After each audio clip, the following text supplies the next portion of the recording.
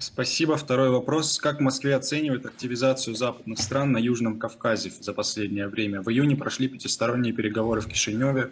Подобные контакты уже запланировали на осень этого года, а в следующем месяце уже запланировали, э, а в следующем месяце Баку и Ереван проведут очередной раунд переговоров на уровне МИД в Вашингтоне.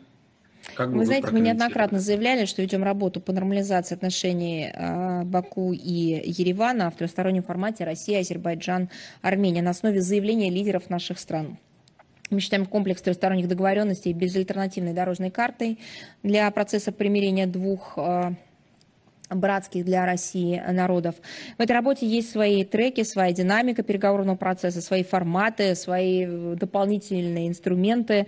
Э, мы не пытаемся ничего форсировать, мы идем по намеченному плану, реализуем э, все, что, о чем было договорено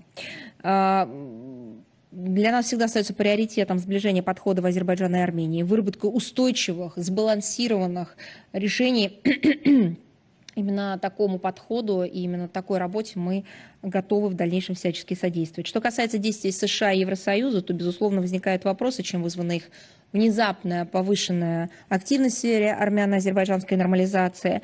Ранее, прежде всего, кстати говоря, со стороны Европейского Союза к закавказской проблематике особого интереса никто не проявлял. Сейчас же, видимо, поменялась конъюнктура, и э, давайте сошлемся на опыт исторический. А, а он показывает, что навязанные извне так называемые мирные формулы, особенно которые, а, так сказать, э, рекомендуются и, э, так сказать, пропихиваются вот буквально, знаете, в таком ускоренном режиме, ни к чему хорошему никогда не приводили. Нужно знать историю региона, нужно знать историю конфликта, нужно знать историю народов, нужно это и знать, и глубоко чувствовать, и самое главное, быть заряженным на главную цель мирного, истинного мирного урегулирования.